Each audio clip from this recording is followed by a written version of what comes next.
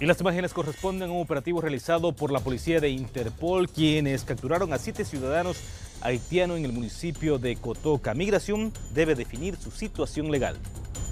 En su plan operativo que tiene la policía de Interpol, llegaron a interceptar a ciudadanos haitianos que se encontraban circulando en nuestro país sin la documentación respectiva y fueron capturados para la respectiva investigación. Que han sido eh, sorprendidos trasladándose hacia la frontera del Brasil, en la localidad de Cotoca, por personal policial. Eh, ha sido remitido a nuestras oficinas, por ende nosotros estamos procediendo al control de antecedentes a través de nuestro sistema y si no ellos no tienen algún, alguna notificación o otra cosa, solamente vamos a pasarlos por la situación migratoria irregular que se encuentra en nuestro país a migración. ¿Cuántos son?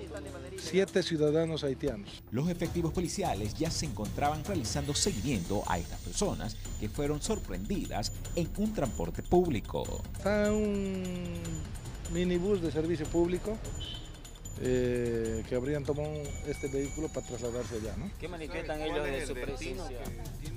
Acabamos de llegar a la oficina, como he mencionado anteriormente, vamos a verificar sus antecedentes y posteriormente les vamos a hacer conocer. Migración se encuentra en la etapa de investigación en cuestión de la documentación y posterior a verificar la situación jurídica. En instante.